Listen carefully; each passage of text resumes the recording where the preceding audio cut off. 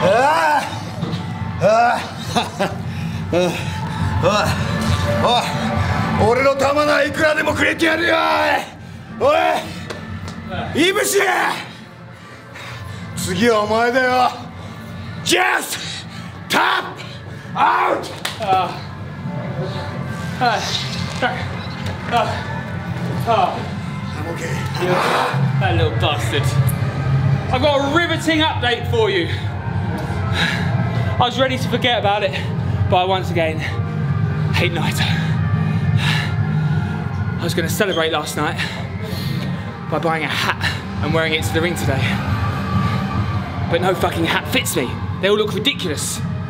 Tiny head.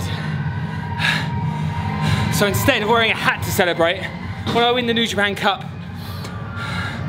I'm not gonna shit in Naito's hat. I'm gonna take Bushi's mask.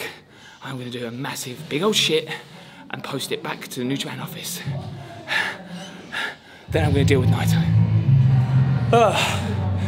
大田区でのタイトルマッチスリーウェイジュニアアタック俺は納得いってないからな覚えとけよエンセリオマジで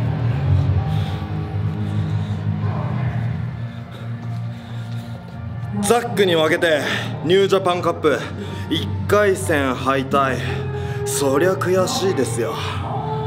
でも優勝候補筆頭がいきなり消えたことによって今回のニュージャパンカップ一気に注目度が上がったんじゃないの？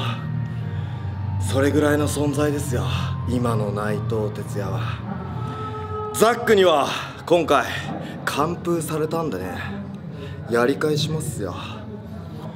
彼も内藤戦の勝利が偶然じゃなかったということを証明したいでしょ